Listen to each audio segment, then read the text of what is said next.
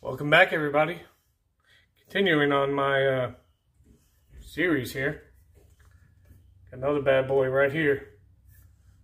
Oh yeah. 12 gauge, double barrel, coach gun. This particular one is a Stoeger. It is a three inch chambered, dual trigger, Now, this thing is literally brand new, so it is not broken yet, so it is still a pain in the butt to open and close. Now, thing with this, this does not have uh, exposed hammers, so when you open the action, that is what cocks the hammers. As I said, this is a dual trigger, right side, left side, and you shoot them in I don't know if you have to shoot them in order or not. That will remain to be seen. Uh, this is a Brazil made firearm. Uh, Brazil is known for quality. Uh, I've been trying to get a double barrel forever, but given all of the uh, issues with everything going on, they've been uh, been pretty hard to get.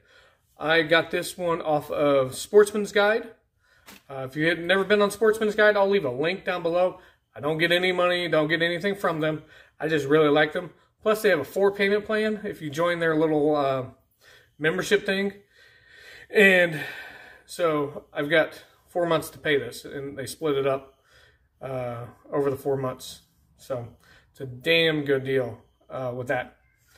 Now, nice thing with this particular type is with a lot of the single actions, uh, check, a lot of the single shot shotguns, right here is a flathead screw to be able to take this off and then disassemble the gun. This, as you can see, just has a little uh, push. And there you go. Then you just break open the action and you now have your gun apart. And then literally you saw, you just put it back in, it squeezes, and the whole button goes back to where it's supposed to. This, this is a crowd pleaser right here, folks. You know, good old Joe Biden, just shoot a couple rounds up in the air and they'll go away. Hmm. You know, it's only a, I believe it's a 20 inch barrel. So you're not going to have super long distance with it. Then again, it's a shotgun. It's not meant for long distance. These particular types, when they were used, they were meant for, i.e., coaches, stage coaches, things along those lines.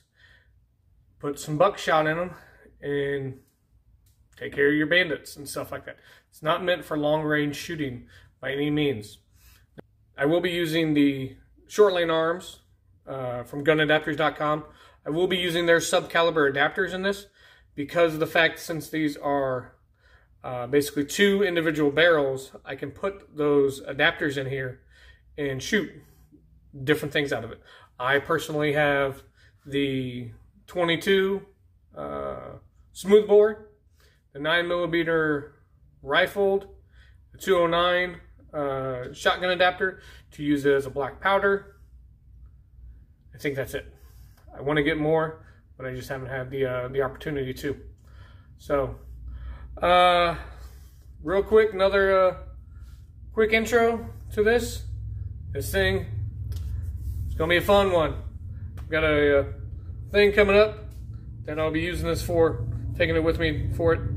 So, hope you guys enjoyed. Talk to you guys later.